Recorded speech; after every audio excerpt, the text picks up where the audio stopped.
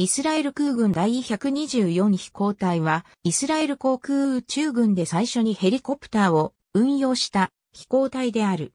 別名として、ローリングソードスコードロンとも呼ばれ、飛行隊エンブレムもヘリコプターの回転翼を回転する剣に見立ててイラスト化したものである。第124飛行隊が独立した飛行隊となったのは1958年からであるが、イスラエル空軍としてのヘリコプター運用の歴史は1951年から始まっている。イスラエル空軍は1948年から1949年にかけての独立戦争の時点において、すでにヘリコプターの重要性、利点に気づいており、導入の検討を始めていた。独立戦争後の1950年には、アメリカ合衆国から4機のヒラー360の購入契約を取り付けた。1951年5月に2機のヒラー360がパイロットのロバート・ニューコム、エンジニアのジョージ・ポールと共にイスラエルのハイファ港に到着した。2機のヒラー360はエクロン空軍基地で組み立てられ、3301、3302の機番が付けられ、無事に飛行できる状態となった。完成した2機のヒラー360を使い、エクロン基地での訓練が始められた。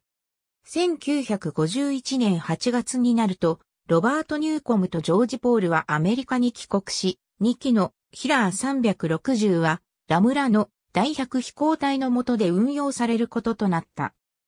この後1952年にはイスラエル空軍はヒラー360を組み立てたエンジニアらをアメリカ合衆国に派遣し、より大型の輸送ヘリコプターであるシコルスキー S-55 のメンテナンス訓練を行わせている。1951年12月には、ヒラー360が初めて本格的な任務に投入された。器物パルマヒムが洪水により孤立し、バイパー株のような航空機では強風で近づけないため、ヒラー360が選ばれた。ヒラー360は孤立した器物パルマヒムに物資を届けることに無事成功した。この後1952年から1955年にかけてヒラー360は転覆した沿岸警備隊のボートの乗員救助、緊急着陸した P-51 マスタングのパイロット救出など幾度かの任務に投入されている。1953年4月には、後に第124飛行隊長となるウリ、ヤロムが初めてのヒラー360での飛行訓練を行っている。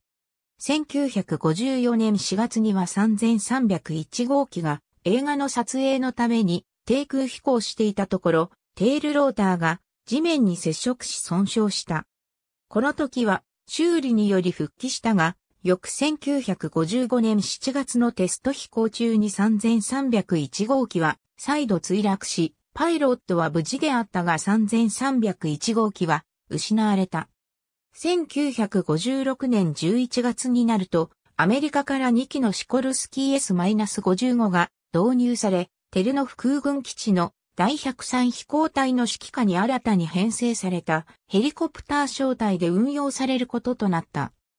これに伴いラ村の第100飛行隊でヒラー360を運用していたパイロットや技術者たちも残されたヒラー363302号機と共に第103飛行隊のヘリコプター小隊に移動し、ウリやロムがこの小隊の隊長となった。なお、この頃には、いわゆる第二次中東戦争が勃発していたが、S-55 は、この戦争では実戦投入されなかった。ヒラー360は1956年11月に物資の輸送に使用された記録が残っているが、12月には3301号機と同様に墜落事故を起こし、修理されたものの、これ以降の作戦投入は見合わされた。1957年には、フランスのシュドエスト、シュドアビアシオン製 SE 3130アルエット2ヘリコプター1機がイスラエル空軍に寄贈されることとなった。アルエット2は世界で初めてターボシャフトエンジンを搭載したヘリコプターで1955年に初飛行したばかりの新型機であった。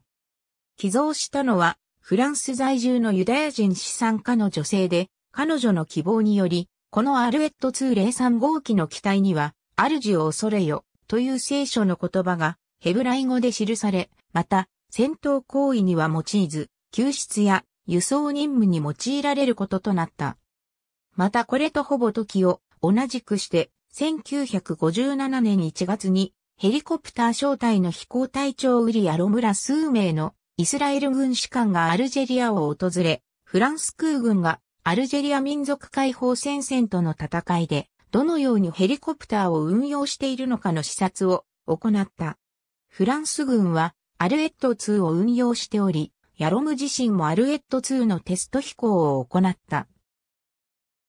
S-55 のエンジン性能に不満を持っていた。彼らは帰国後、軍に対してアルエット2及びシコルスキー S-58 の導入を強く進めた。1957年7月には寄贈された最初のアルエット2が第103飛行隊のノールノラトラによりテルノフ空軍基地に空輸され飛行可能な状態となりヘリコプター招待で運用が開始された。この03号機は1961年に3機が追加配備されるまでイスラエル空軍の唯一のアルエット2であった。1958年1月になると第103飛行隊のヘリコプター招待は第124飛行隊として独立した飛行隊となり、ウリやロムが引き続き飛行隊長となった。1958年2月には最初の2機のシコルスキー S-58 がイスラエルに到着し、3月にはもう2機が届き、これらの機も第124飛行隊の装備となった。また同年、S-55 が6機追加配備されたが、S-55 のエンジンはイスラエルの気候にあまり適さないとして、1963年に退役するまでの間、主に海上、洋上での任務に用いられた。1959年の夏には空軍司令官であったエーゼル・バイツマンが自身の手によりアルエット2のテスト操縦を行った。また1959年の終わりから60年初頭にかけてアルエット2によるノール SS 11追戦車ミサイルの発射試験が行われたがうまくいかず、以後アルエット2が対戦車ヘリコプターとして使われることはなかった。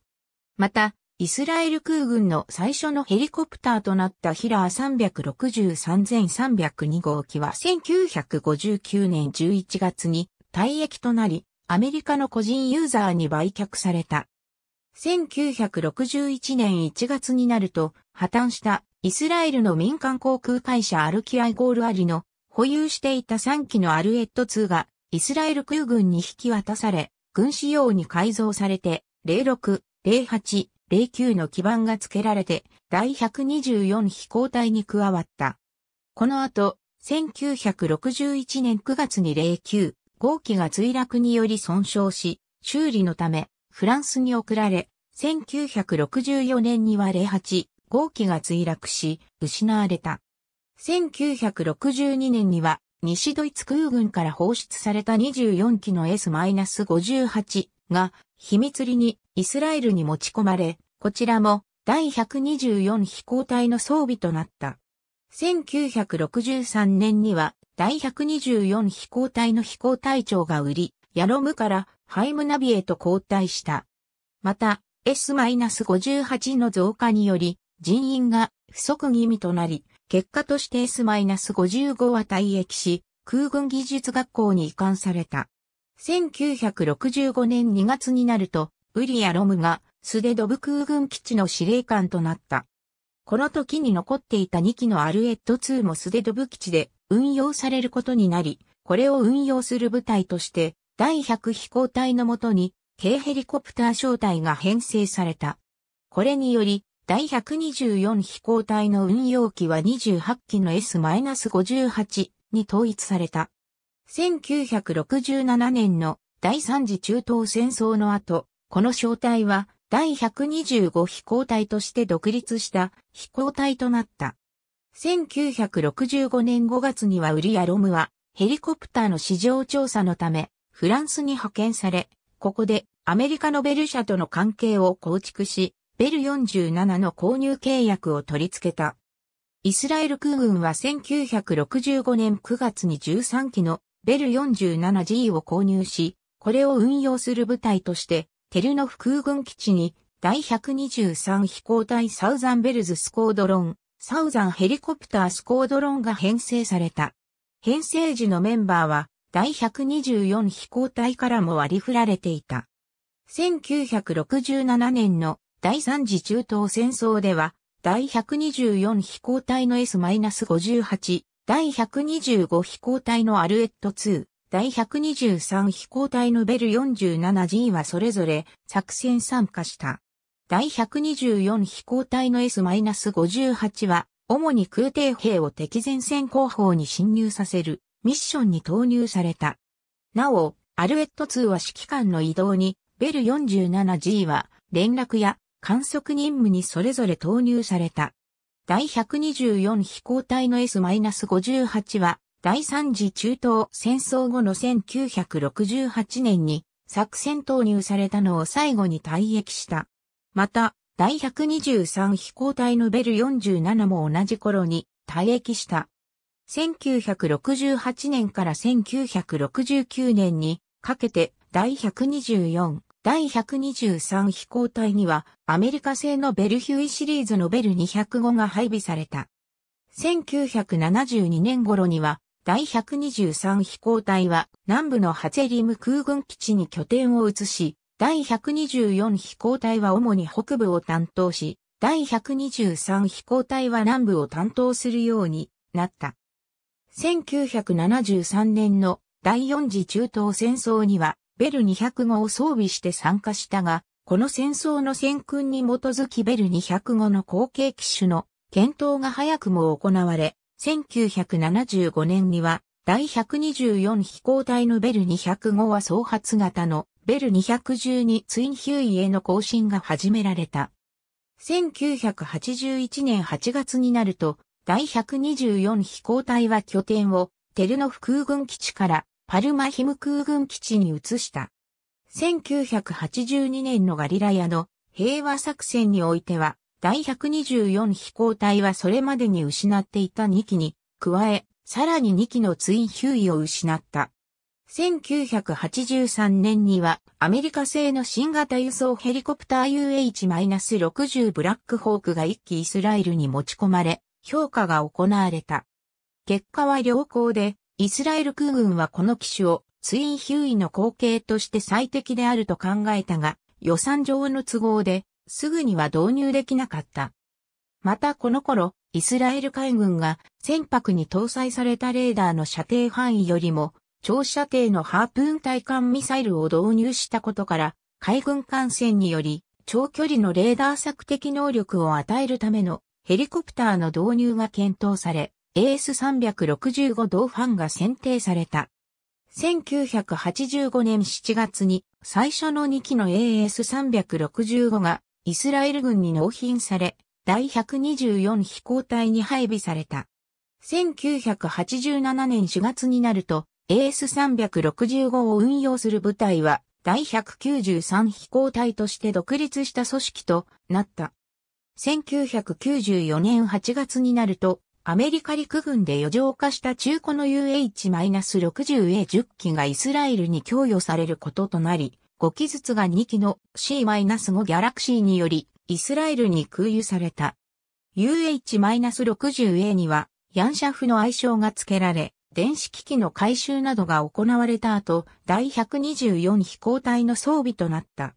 これに伴い、第124飛行隊の何機かのツインヒューイは第123飛行隊に移管された。1997年には、イスラエル空軍は、シコルスキー社との間に S-70A-5015 機の導入契約を結んだ。S-70A-50 は、アメリカ陸軍向けの UH-60、L 相当の機体で、イスラエル軍向けの電子機器などが搭載された状態で製造されることとなっていた。最初の5機は1997年5月にイスラエルに空輸され、7月頃には組み立てが完了し、第124飛行隊に配備された。この15機の追加配備に伴い、第124飛行隊に残っていたツインヒューイは、すべて第123飛行隊に移管された。なお、初期に導入された UH-60A も S-70A-50 相当に回収を受けた。この後、2002年には追加発注された S-70A-50 がイスラエル空軍に追加導入され、これらはハツェリム空軍基地の第123飛行隊に配備された。2015年には第123飛行隊がパルマヒム空軍基地に移転し、パルマヒム基地での UH-60 系列の集中運用体制が取られるようになった。ありがとうございます。